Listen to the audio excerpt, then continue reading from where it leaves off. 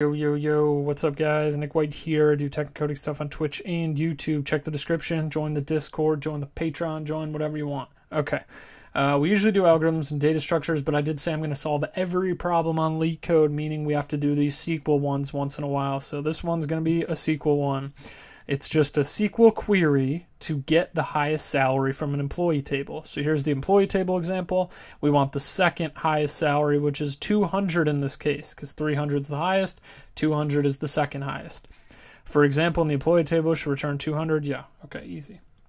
Um, so how do you get the highest? Okay, well, there's a max function. So you would do like select um, max salary from employee, right? That's the maximum. Um, right? If we run this, what do we get? Okay, so this, yeah, this gives us 300, but we want 200. So we want the max salary from employee, but we need to add where, we need to add a condition. This salary that we're selecting also has to be less than this value that we're going to put in parentheses. And the value we put in parentheses is select max salary from employee. So this is going to give us the max. This is going to say, okay, we want us the maximum salary, but the salary has to be less than the max. So that is by definition the second biggest.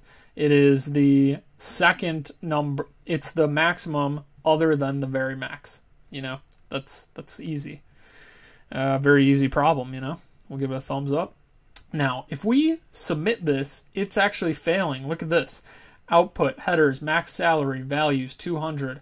Headers, second highest salary, values 200.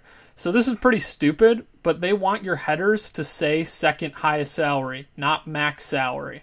So right now it says max salary. We have to say as second highest salary. I don't know if the the caps locks matters actually. It might. Yeah, see, they're, they're they might even reject us because of that. So let me try it. Oh no, they they accept all caps. Okay, so it just has to say second highest salary. But if you were to just do this, they wouldn't accept it because they want this. You know, they want it to be titled the same thing. So just be aware of that. Use the as keyword and uh, you know make sure you're getting your headers correct. But yeah, that's pretty much it. Let me know what you guys think. It's a SQL, simple SQL command. Um, check out. I'm doing an algorithm one next, trying to avoid these SQL ones until the very end. So thanks for watching. Check you guys next time.